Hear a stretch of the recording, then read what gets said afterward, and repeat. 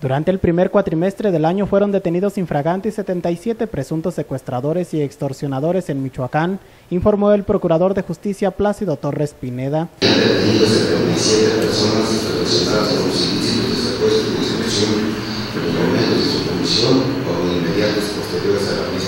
En el mismo periodo, el área de antisecuestros de la Procuraduría Estatal liberó a 51 víctimas. Los datos fueron confirmados por la dependencia encargada de la Procuraduría de Justicia.